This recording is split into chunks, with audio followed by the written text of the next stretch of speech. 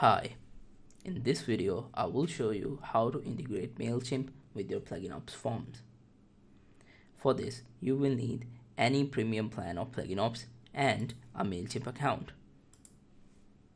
To start, first edit your form, go to integrations tab and open MailChimp options panel. Here enable the MailChimp option then you will need list ID and API key. These two informations can be found in your MailChimp account. First, we'll find the API key. To find the API key, open your MailChimp account, click on your username on, on the top bar, then click on account, then click on this extras tab, and then click on API keys. Here, if your account is new, there won't be any API keys but if you've already created a key it will show up here. So I'm going to create a key. And once created you can see here make sure the status of your key is enabled or on.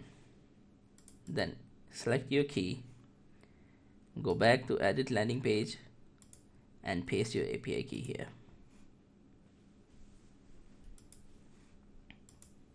Once you've done that now we'll see how we can find the list ID option. For this, go back to your MailChimp account and click on this audience tab. Here, click on this manage audience drop down and click on this settings button. Here, the select the first option audience name and defaults and your audience ID or list ID should be right here. This is my list ID for this list I'm going to copy it and paste it in the landing page. Make sure you don't paste this dot. So I'm going to remove it. Then save the landing page. Preview it.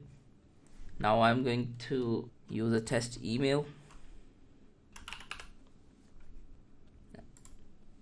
And submit the form. So as you can see it showed the success message.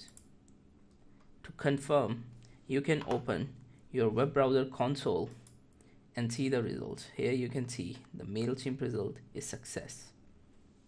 So let's go to our MailChimp account to verify that, that this email address has been added or not I will open I have opened my MailChimp account.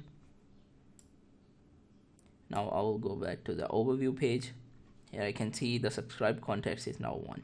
If I click on it if I click on it it will show up in my list or audience of my MailChimp account. This was the basic integration of MailChimp with your PluginOps forms.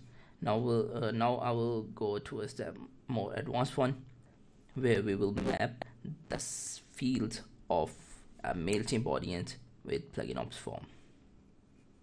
So right now in our form there is only one field which is email address.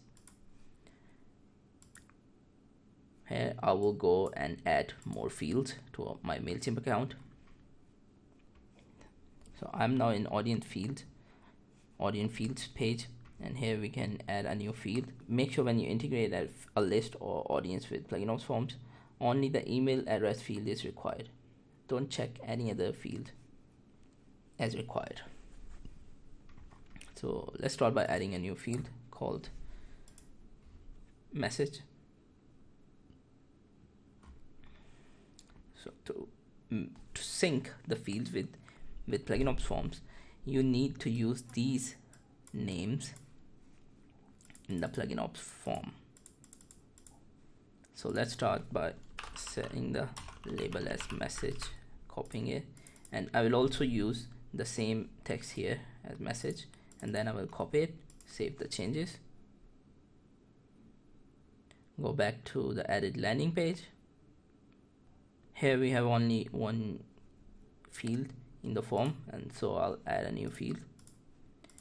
And in this field I will uh, use the same name I use here which is message in the field name option. Here I'll paste this save this save the landing page reload it save the landing page reload it and let's test again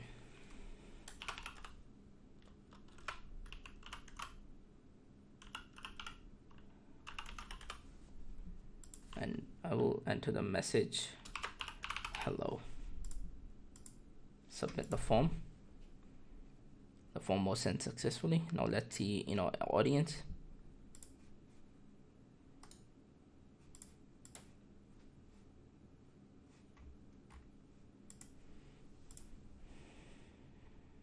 So in our audience Kim had been added.